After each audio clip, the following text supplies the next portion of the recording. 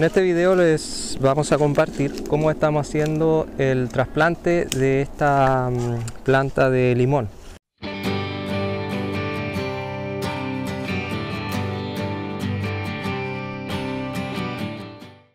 Ahora, hay que tener un dato en consideración. Aquí lo estamos haciendo ya entrando en luna menguante. Lo ideal es luna nueva, pero hay un periodo de transición ahí que estaría, podríamos obtener quizá alguna ventaja, no tanto como si fuese en, luna nueva. Y vamos, y aquí hicimos un hoyo y les vamos a comentar qué hay acá. Bueno, la idea de esto es que aquí está la planta, esta ya tiene como unos dos años así. Entonces vamos a ver qué se podría hacer. Y la idea es que vaya acá.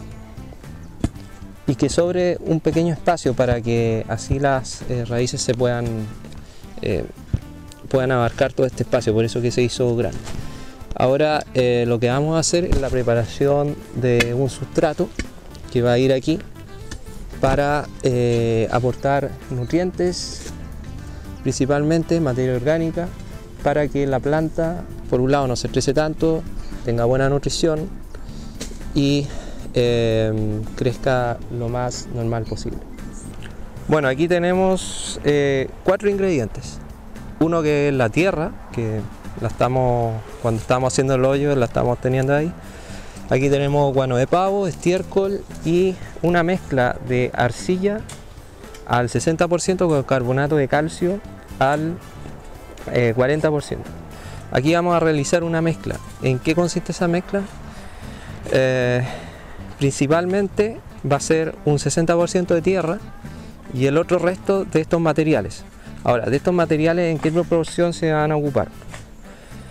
Eh, el estiércol de vaca vamos a ocupar una mayor proporción porque esta aporta menos sodio que este estamos en un contexto de salinidad, de, que el agua de riego tiene mucha sal.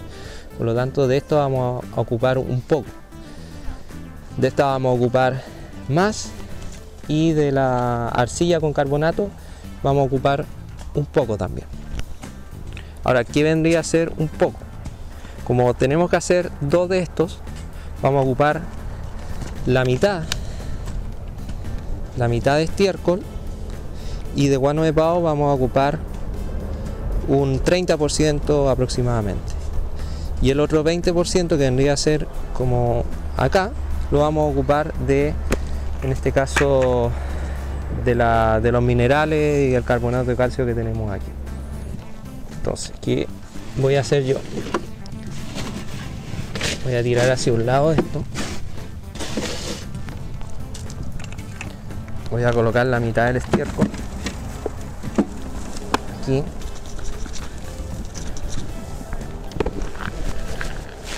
Todavía me falta.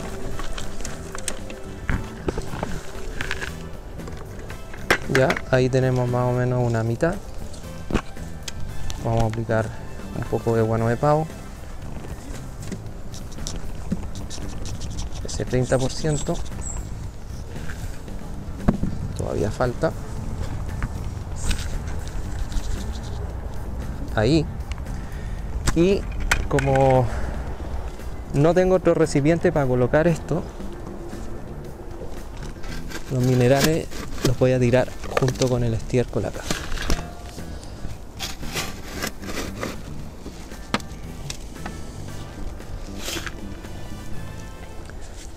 El resto vendría a ser eh, la tierra. Aunque yo creo que ya con esto que tenemos acá es suficiente.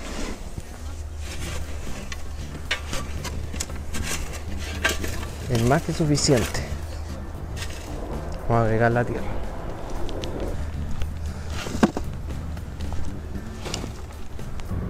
Ahora, algo que no mencioné, ¿qué es lo que va a aportar el guano de pavo? Principalmente hay aporte de muchos minerales, materia orgánica, aireación para la planta, que eso va a ayudar a la estructura, que va a aportar esa mezcla blanca.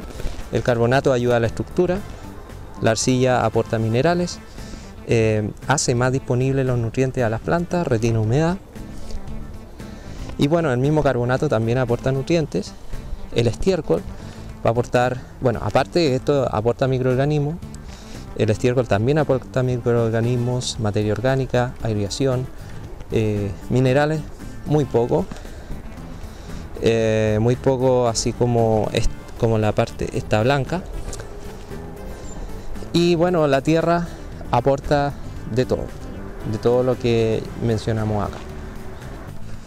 Hay algo importante que debo mencionar acá. Em, se ocupa un 60% de tierra porque la idea es que se crea un sustrato, pero este sustrato no tiene que ser tan diferente al de la tierra en la cual se va a colocar eh, la planta, porque si no la mayor concentración de raíces se va a dar ahí, muy posiblemente.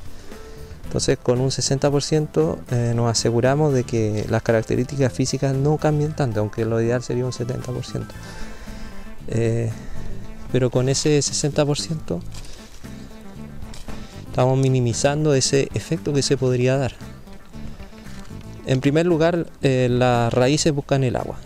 Posterior a eso, como está, o sea, y como está más disponible el agua en la materia orgánica, se quedan ahí. Por eso que ocurre eso. Ahora, lo otro es que em, posterior a buscar el agua también el tema de la compactación. Si está muy compactado el suelo, a los lados se va a concentrar donde hicimos el sustrato. Como ven, aquí vamos eh, revolviendo todos estos materiales.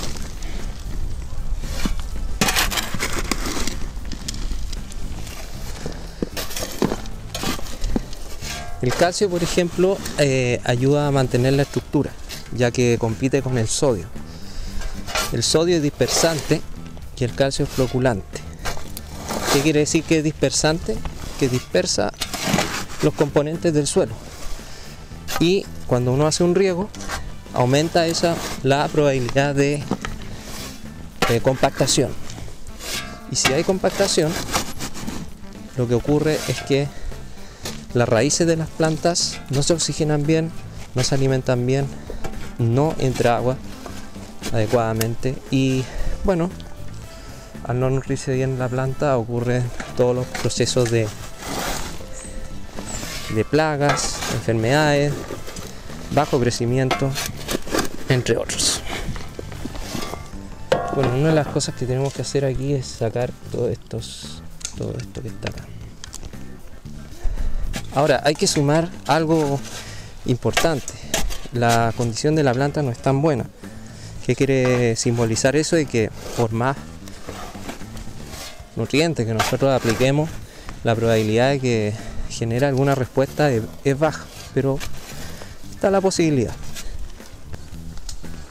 Vamos a empezar a aplicar esta mezcla. Bueno, que es lo que vemos acá?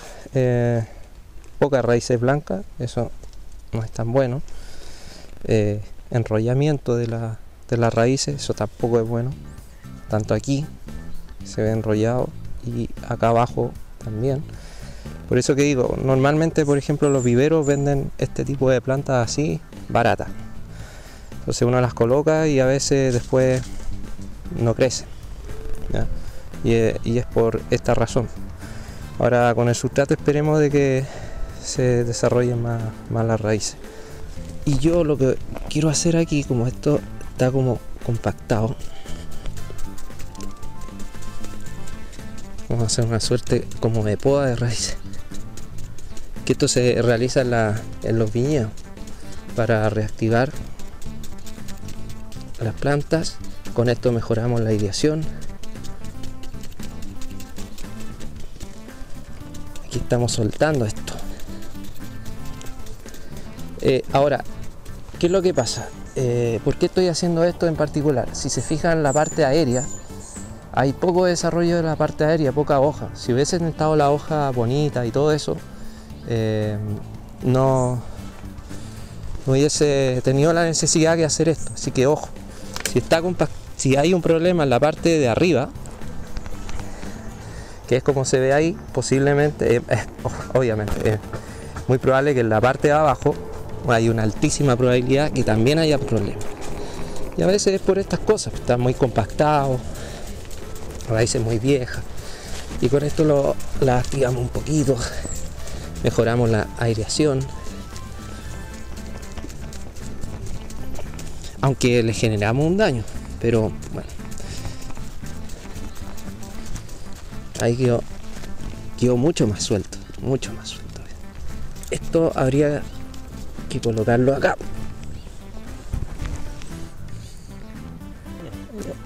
Ya, la última, esa, ya.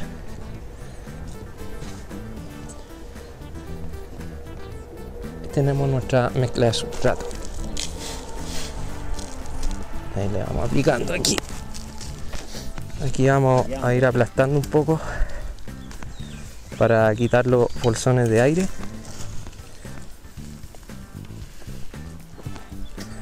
Y poder dejar esta taza, que es importante porque así nos facilita mucho el riego. Posteriormente con el agua que nosotros le apliquemos acá, eh, todo este sustrato tiende a, aplastarse solo, un 10 a 20% por ese efecto de compactación. Por eso que es importante el calcio, la materia orgánica y otras cosas que vamos a agregar aquí para evitar esto. Ahora vamos a usar un truco, por decir así. Esto consiste en colocar un mulch cuando el, la materia orgánica se coloca arriba nomás, eh, actúa más como mulch que como nutriente. Entonces, esto nosotros lo aplicamos acá. Entonces, esto va a retener la humedad y vamos a evitar la necesidad de estar regando tanto. Y por otro lado, bueno, algunas raíces se van a desarrollar acá arriba también y van a extraer los nutrientes de esto. Entonces nosotros vamos a regar y gran parte de esto se va se va a acumular eh, el agua acá y se va a evitar que se evapore. Si no saben de esto, traten eh, el vermicompuesto, el mal llamado humus de lombriz, que esté húmedo, coloquen un suelo seco y el humus de lombriz. ¿Y quién se seca primero? Obviamente se va a secar el suelo, yo eso ya lo probé. Ahora vamos a proceder a regar acá. Y se fijan, esto que entre el agua al tiro y que no se quede en la superficie, eso significa que hay muy buena estructura. Aquí le vamos a aplicar microorganismos. ¿Cuánto de microorganismos? Al 10%. Si nosotros aplicamos dos de estas, más o menos el 10% vendría a ser como hasta aquí, por ejemplo. ¿Ya? Entonces eso es, es lo que le vamos a agregar. Perdón, los microorganismos, antes que se usen, se revuelven porque hay algunos que se desarrollan acá y otros acá. A nosotros nos interesa que estén todos mezclados. Entonces, vía foliar, aplicar microorganismos no es tan recomendado porque hay poca hoja, no se va a absorber mucho. Entonces, lo que hacemos es seguir regando acá y en el último tercio del riego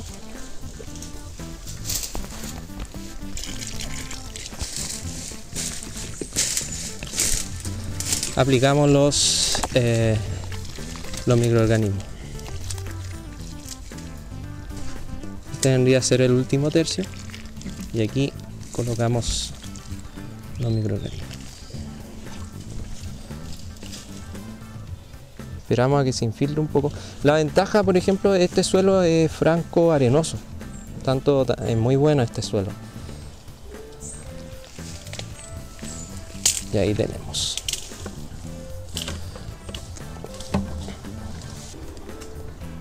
Y ahí ya estaría listo. Lo otro que vendría a ser es esperar a ver cuál sería la respuesta de la planta bajo este contexto en particular y ver si ocurre alguna mejora. Y como pueden ver aquí, este es el mejor resultado que obtuvimos. Esto es con respecto al segundo árbol que colocamos. Si se fijan, todas estas son hojas nuevas que han salido. Ahora con respecto al otro árbol, eh, anda no en muy buenas condiciones, pero igual le están saliendo hojas, por ejemplo ahí. Ahí se ve que le están saliendo hojas, allá también, pero va a un ritmo mucho menor que el otro. Para finalizar con este video quiero puntualizar que en la descripción del video ustedes podrán encontrar las redes sociales de Planeta Agronómico y también van a encontrar el link de nuestra página web donde ahí va a estar la tienda. En la tienda ustedes podrán encontrar todos aquellos productos y servicios que ustedes necesiten para hacer de esta agricultura más sustentable.